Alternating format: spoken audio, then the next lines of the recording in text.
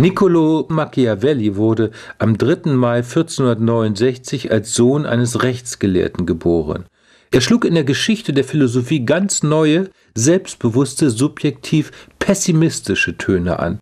Für ihn stand fest, dass jemand, der einer Republik Gesetze gibt, Zitat, alle Menschen als böse voraussetzen muss. Machiavelli ging folglich von einem egoistischen, verlogenen und gierigen Menschenbild aus. Er beschrieb nicht mehr den christlichen Gottesstaat des Mittelalters oder den auf Tugend aufbauenden Idealstaat der Antike. Machiavelli betrachtete die Politik unabhängig von der Moral.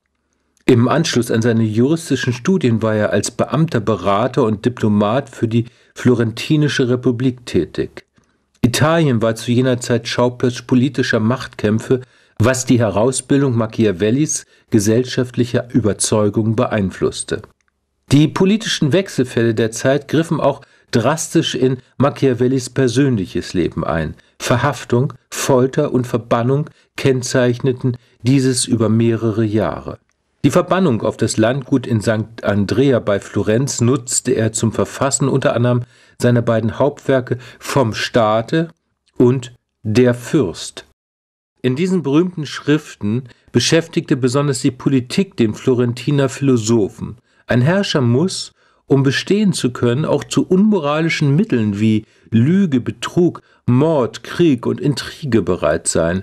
Im Interesse der Machterhaltung kann es nützlich sein, das Volk zu täuschen. Auch die Religion soll bewusst zur Festigung der Macht eingesetzt werden. Eine Mischung aus Monarchie, Aristokratie und Demokratie soll im Staat gewährleisten, dass dieser nicht in den sonst üblichen Kreislauf verfällt. Aus der Monarchie wird Tyrannei, abgelöst von der Aristokratie, die zur Oligarchie ausartet. Die darauf errichtete Demokratie verkommt zur Anarchie, welche von einer Monarchie abgelöst wird. Danach beginnt der Zyklus von vorn.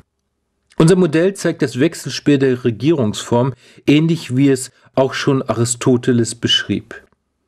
Die verschiedenen gesellschaftlichen Gruppen und Einzelpersonen versuchen, jede mit dem ganzen Gewicht ihres Egoismus, die Macht, die in unserem Modell von der roten Kugel repräsentiert wird, an sich zu ziehen. In diesem mechanischen Kräftespiel gilt es, möglichst viel Gewicht auf die eigene Seite zu ziehen und die gegenüberliegenden Kräfte ganz auszuschalten oder zumindest zu neutralisieren.